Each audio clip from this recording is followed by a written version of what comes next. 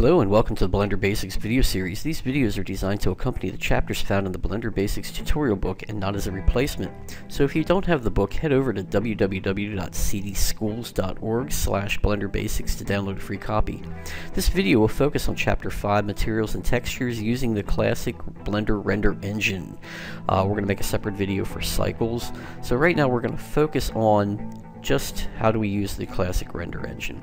So if you pop on over to Blender, what I've done right now to save a little time is set up an initial scene where I've added a cube, a UV sphere, a monkey head, and a plane.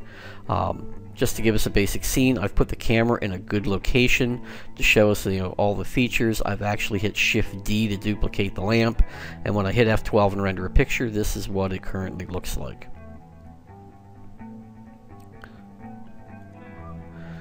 Everything is just gray because I haven't put any materials and textures on anything yet. So we have a basic scene. So I'm going to start with the cube. So if I pick the cube, you're going to see we have a couple of buttons over here. Um, materials and textures. So first thing I have to do is add a material to the cube in order to be able to add a texture later on. And this is something brand new to uh, Blender 2.8 you know, see that's out here right now that you don't see the texture panel until you actually add a material. And that's a good thing for Blender because you can't add a texture until you add a material and a lot of students always start out, they start putting textures on, wonder why they don't work. You have to add that material first. So I add a material to the cube, actually I had the plane selected. Let me pick the cube here first. So let's put one on the cube. And you know, remember we talked a little bit in the last chapter about the diffuse color and specular. Specular diffuses the color you actually see. So if I were to change the diffuse color to say green, now the cube will be green. Um, the specular is basically that reflection, that glossy spot that you see, whatever color that we want to use. Intensity would be how uh, intense that spot is or how flat it is. So if that's somewhere down in the middle, it won't be very glossy at all. So let's take that down to about 0.4. Okay, and there are a lot of other settings within this materials panel. As you go down through, you have an emit, which would be emitting some of its own light to kind of make it look like it's not in the shadows. Transparency panel, which we'll talk about in a few minutes. Mirror to make something reflective. Um, there are some other options as you scroll down. You can even control how shadows are generated. So there are a lot of neat features within the material setting itself. I want to make this thing look like it's a brick wall. So if I go over to the textures panel now, I can now add a texture. By default, it's basically saying image or movie, but you can change to a lot of different things. Blender has a lot of built-in texture generators. Wood is a popular one. The Stucci is also another popular texture that you could use for different things. And they're really neat because um, they work with some of the other features down here within the, the texture panel. Um, basically in here there's one under influence called normal under geometry which will basically take a look at dark and lights within your texture and push them up and down to make it look like it has a little depth, which we'll demonstrate in a few minutes. What I want to do is I want to make this thing look like a brick wall. So now that I've told it that I want the type to be an image or movie, I'm going to go down here to the image panel, hit open, and I'm going to browse out to my desktop where I have a folder full of texture maps. And go into the brickstone concrete folder. I'm going to hit the thumbnail button up here at the top. Uh, these textures are available for download as a zip file from the uh, CD Schools website where you can find the Blender book. So if you need some textures, go take a look at that. I'm just going to use this basic boring brick. I'm going to double click it and it's showing up in my preview. It doesn't show up in my preview window so I'm going to hit F12 and render a quick picture. And you'll see that there is now a brick texture with within that cube. But it's a little messed up you know, it's going on some strange angles, doesn't doesn't look quite right. So here's what we need to fix next. The classic render engine used to always default your mapping under coordinates to generated. It's for some reason the change has been made to make it to say UV by default. So I'm going to change that to generate it. And now when I hit F12, that cube's going to look a little different. It's going to be mapping the brick texture on the top of the cube and stretching it down the sides. And the reason why it's doing this is over here under where I changed it to generated, it's being mapped flat. So it's being mapped as a flat object and being stretched down the sides. Now, that could be a, a desirable texture for something that we're doing, but it's not too good for me. So I'm going to change this from flat to cube. Now when I hit F12, it's going to be mapped on every face of the cube. Okay, so now we have the cube. It has a, a, brick texture on every face. To make it look like it pops, that these mortar joints aren't just painted on, that they actually look like they have some depth. I'm going to go down to the geometry button and hit this normal. Okay, when I hit normal, normal is basically going to look at the lights and darks in a picture and try to push them one way or the other. And you can take them in a negative direction or a positive direction depending on what you want to try to do. So I'm going to take that normal up a little bit higher and see what I can get. Some pictures it does a great job with, some pictures it takes a little bit more. Okay, so now it's kind of making the mortar joints look like they're popping a little bit. Okay, let's do something with the floor now. So I'm going to select the floor. Escape out of that view. Let's put a material on the floor first, which I already did by accident. Um, I'm going to make this look like some type of stone flooring that's been polished. No, actually, actually, let's make it look like a, a wood floor that's been polished with a little reflection on it. So I'm not going to really mess with anything over here in materials yet. I'm now going to go to the texture panel. if you don't see your buttons, it's because you need to scroll back up to the top. New. Let's pick image or movie. Let's hit the open button. And we're going to go back in here to my... Go back and right here we have some wood textures. We'll hit thumbnail so I can take a look at my various wood textures that I have available. And I'm just going to pick, um, oh, I don't know, we'll go with some of this Nice looking wood here. I do have some wood floors over in interior decor, but I think I'm going to work with that one for right now. If I F12 and render it, it's not going to look quite right because it probably still says UV mapping down here. So I'm going to change UV to generate it.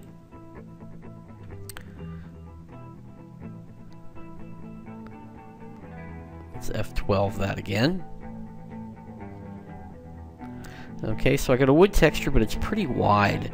Okay, so I've got some different ways to map it. I can change my size here, or I can open up this image mapping panel, and here's a repeat feature. So I can repeat that texture a few times in the X and Y direction, and take a look at it again as I hit F12 to render. Now it's looking a little more interesting. Let's take that up a little bit more. F12, render it again. Okay, so, as I continue to add features, things will slow down a little bit here right now, and this computer's kind of taxed a little bit since I'm trying to video capture and run these renders at the same time. I'm going to go back over to the materials panel now, and I want this to look a little reflective. So I'm going to scroll down here to the mirror panel, check it, open it up, and now we're working with ray trace, and here's some reflectivity with this. I'm just going to drag that up a little bit. If I look at my preview sample, it'll show me some of that reflection. Let's hit F12 and see what we get out of this. And it will also be reflecting the world setting, so there's gonna, it's going to be kind of looking gray because my world is kind of gray right now, but now you're starting to see some reflection from these other objects in the floor. You know, especially the ears of the monkey head look pretty good. Okay, so I got a little reflection, but this is pretty flat. Let's give this wood grain a little texture. So I'm going to go back over to the texture panel.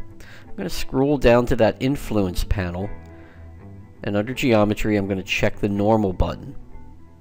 Now, now that I checked it, you're going to see it actually continuing to render, picking up that, that normal setting up. And you see how it really, really deeply grooved the wood. I don't quite want that much. I'm going to go with maybe 0.1 instead of a full 1. Okay, and we're going to hit F12 again. We're going to render another picture and see what that looks like. So now you've got a little ripple to that surface with the reflection. And you can really start to see it popping in here now. So materials, textures all work together. Normal is a great button to use often. Gives you a little bit of depth to your texture. Okay, so let's do something with the monkey head. We're going to escape out of that render. I'm going to select the monkey head. I just want him to look like he's polished brass. So we're going to add a material to the bunk monkey. Again, scroll back up to the top of the panel, add a new material. Oops, I'm actually a material. I don't want a texture on this one. I'm going to delete that off of there. So back to material. We're going to make this kind of a yellow. Kind of a deeper yellow here.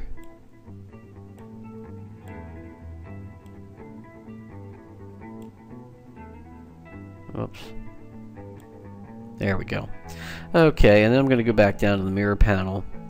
And this one's actually going to be pretty easy. We're just going to take reflection up pretty high. So it's a pretty reflective monkey head. We'll render a picture. I won't render the whole thing. We'll stop it after we see a little bit of the monkey.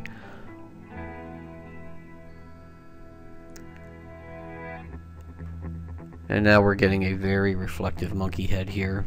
It's reflecting the grays, it's reflecting the floor texture.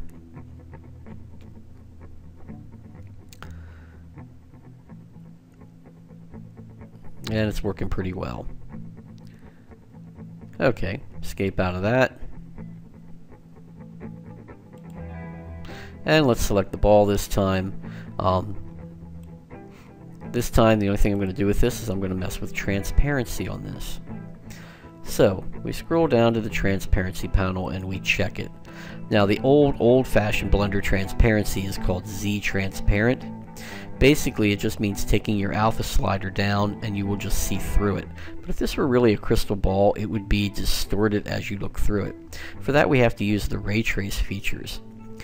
And the, um, the Fresnel, we're going to take that up a little bit. Fresnel is basically, if I can look at my sample up here, I'm going to close up a couple of panels so I don't have to keep scrolling around. Okay, Fresnel gives it some transparency with a little glow around the edge. Um, I'm going to take my index of refraction, refraction up a little bit.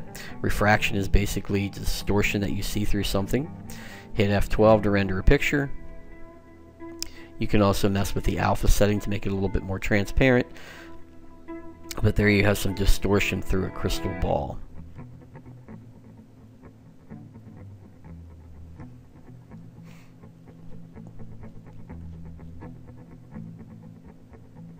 Sometimes when you add transparency to an object, especially if you're making something like a drinking glass or something like that, you might have to take the depth up a little bit higher so you see through more surfaces as it reflects through. Um, what might be neat to add to this crystal ball is to actually make it look a little ripply, like it has a ripple to it. The best way to do that would be for me to go over to the texture panel and add a texture to this crystal ball. Instead of an image or movie, I'm going to actually use Stucci. And as I scroll down, um, what Stucci actually does for you, and I'm going to escape out of that render. Um, it gives you basically just uh, a, a, little ripple texture to an object. And if you change the size of it to make it smaller or larger, you can actually make it look all the way down to like um, the stipple you would see on a painted wall or something larger like the ripples that you might see on a swimming pool. And it can even be animated later on. For mapping, I'm just going to turn this back to generate it. And I'm going to hit the normal button because remember normal is what gives you depth. And then one last thing I'm going to do with the Stucci is that by default it's going to try to show this secondary color. I'm going to change it from mix to an overlay and that basically just overlays the texture onto it and kind of avoids that color. Hit F12, let's see what that looks like without making any changes to the normal setting.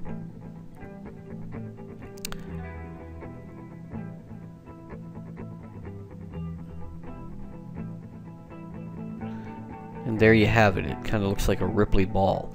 If you were to animate that setting, which we will talk about later in an animation channel, because um, you can animate anything that has a number on it. You can animate everything over time.